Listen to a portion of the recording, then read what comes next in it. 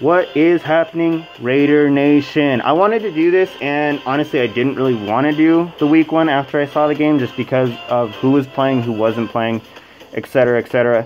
But I wanted to just quickly talk about the Raiders' first preseason game where none of the starters, per se, were playing uh, major time. I mean, but if you were a guy that's only one or two years in the league, you were playing regardless of where you were drafted what your expectation is for the season. So I really like that. So it's like, you know, Mo Hurst was in a lot of the game, and a lot of people are like, well, what, what's going on with that? I think it's just because it's a young thing. And, you know, you got to go. Uh, I love Trayvon Mullen. I loved the draft pick. I loved the player in college. I loved the effort he was showing there.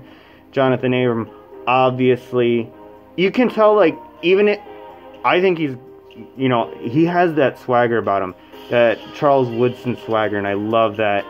You look at the defensive line, it looks youthful. It looks like it wants to, you know, like it, it was really cool to see all those young guys on the defensive line make some effort, get some plays, you know, like, and that's what you need. You don't need three interceptions right off the bat from these young guys. You don't need 16 sacks. You, you just need some confidence building, some team building, and you could really see the defense really come together, even if, you know, a lot of those guys aren't going to be playing all the time on Sundays.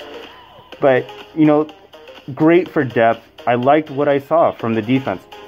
The offense, uh, you know, Josh Jacobs wasn't playing. Derek Carr wasn't playing. Antonio Brown's not playing. Tyrell Williams not playing. But, uh, you know, I like the receiving corps, man. The receivers look tough. They're, they looked good. I was impressed. Uh, and you know, there's not too much you can really say. Uh, I like Peterman over Glennon. I don't really like uh, Glennon too much. I have no reason to base that on. I just feel like Peterman isn't like the the answer to the future or like anything crazy crazy, but I think he got a really tough break. I think it's a lot of confidence issues rather than just trash. So we'll see. I mean, but both of them are tough uh, as far as like if Derek Carr goes down. So you hate to see it, but you do like to see uh, them make some good plays, and both of them led drives for a touchdown. So you know, at the end of the day, that's all I can really ask for. Uh, DeAndre Washington looked good. Yeah, that's basically it, man. There's not a lot to talk about because, like I said, a lot of these guys aren't going to be like huge, huge, huge Sunday guys.